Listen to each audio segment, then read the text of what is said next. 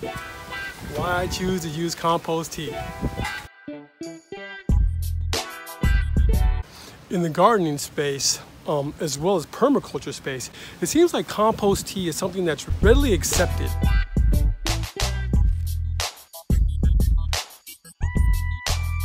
When you start getting to the market gardening and small ag farming, compost tea seems to be something that people kind of raise an eyebrow to whether or not it's effective or not.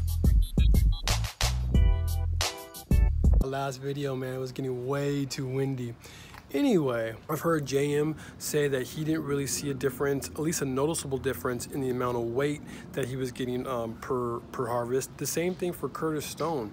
I can't tell you that I've gotten necessarily more weight, but I, what I will definitely tell you is that my plants after I compost tea look like it's just rain. After, after a nice rain out here, my plants are just like, oh, for the most part, it looks like that as well after I've compost tea. Not as much, but definitely you can see there's a noticeable difference. Um, now my theory is, and I could be wrong, I know there's a lot of soil scientists out there, uh, and hopefully some of you guys can chime in uh, if you guys actually know, but my theory is here in California and other places where it just doesn't rain that often, we may not get all those minerals and all that bacteria and all that extra nice stuff that you get in places like Canada and other places or regions of the world where it actually does rain more.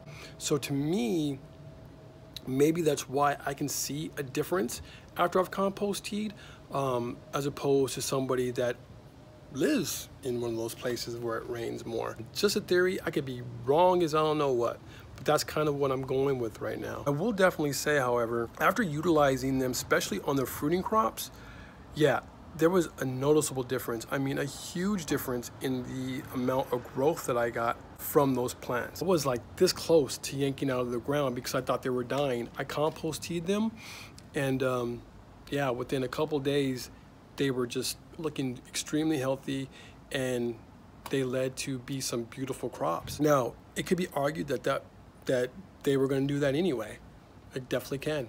But all I know is I compost teed and I've seen that difference.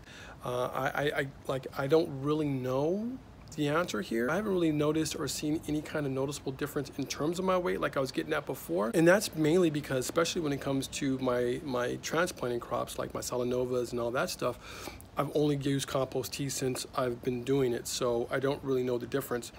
Um, when it does come to some of the other leafy greens, like the stuff that we direct sow here, I've actually noticed a difference in them too in terms of the way that they look. They're actually, the actual vigor. It looks, they look more healthy. Um, I don't know. What have you guys found out there? I feel as though it it might be worth doing. Not the way that I'm doing it right now, however. There's a couple things I need to do to change that to make that a little bit easier for myself. I think that it actually it actually works, man. Um, at least for me in my in my in my context. Also, composting on an organic basis, if I'm not mistaken, is probably the fastest way to inject any kind of nutrients into your plants. Seeing that plants only take up nutrients that are water soluble, right? That's why things like your granules or your rock dust, all that kind of stuff takes some time to actually break down. It has to go through a whole process to break down in order for your plants to actually begin to absorb that and take that up as nutrients. That's why it's more of a long-term organic fertilizer, if you will.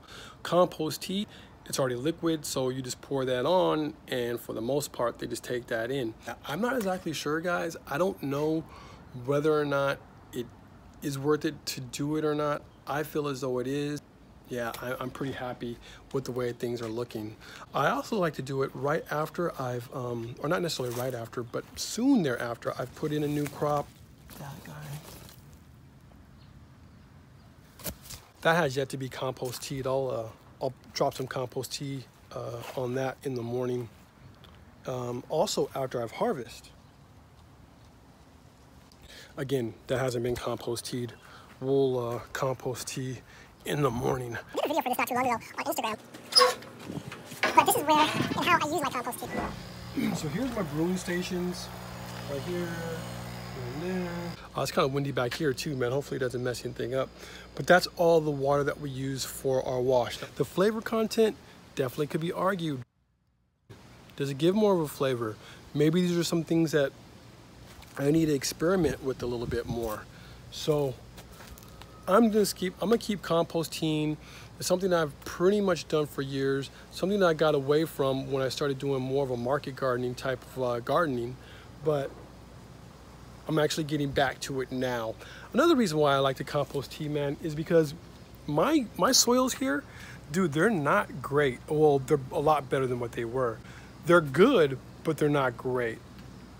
Uh, and I find that composting them again is another quick way for me to actually get the nutrients that I need into my plants faster as opposed to you know all the compost and the other organic fertilizers the granule stuff the dry stuff that we've actually already put onto the uh, rows. That stuff man it can take months before it starts breaking down or um, becomes available for the plants. So a lot of times, you know, I can actually utilize that in the compost tea as well. I can get some of those dry fruits, put it inside the compost tea, brew it up, and then pour it on my um, pour it on my plants. So yeah, like I was saying before, man, we use a couple different kinds. I use the 511, maybe for, like I was saying, for leafy greens and all that other stuff. And then I also use a, uh, a BioAg, SCD BioAg. This stuff's really good too. That's more or less just a probiotic right? So it's just bacteria that actually help break down the uh, the the, the uh, other nutrients and minerals that are in, actually inside the soil. It helps break that stuff down and add and gets it to the uh, the plants a little bit faster. So I don't know, man. Um, I think maybe it's something that might be worth looking at. Uh, for me, um, I'm gonna keep doing it not the way that I've been doing it, not the way that I'm doing it right now.